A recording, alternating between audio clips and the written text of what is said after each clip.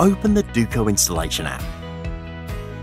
Register or create an account. Scan the QR code on the Duco box and fill out the project details. Then press Installation Wizard or one of the other functionalities. Now we connect to the Duco box. De-energize the Duco box. Open the lid of the Duco box and connect the Duco installation kit. Power up the Duco box. Press the button on the installation kit. The yellow LED will illuminate. See the instructions shown in the app. Connect to Wi-Fi, press OK.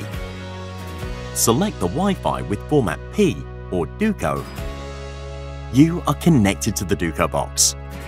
Once connected to the Duco box, you will be presented with the installation wizard. We will go through all steps one by one together. Create spaces for both your supply and exhaust. If necessary, change the flow rate and number of valves. Click on Register Component under the desired room.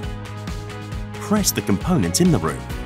It will flash red and then green after logging in. The component will appear under the room. Now we start adjusting. Choose the channel with the most flow rate. Increase or decrease the flow rate until you reach the correct flow rate. Measure the flow rate at the other valves.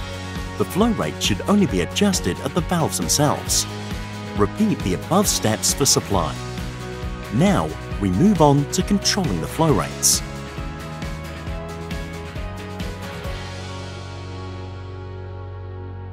Take photos of your installation. Download the required technical documentation. You will receive an email with all the required information and an automatically generated ventilation report in accordance with legislation. Is the adjustment successful? Then we will give you a one-year extra warranty.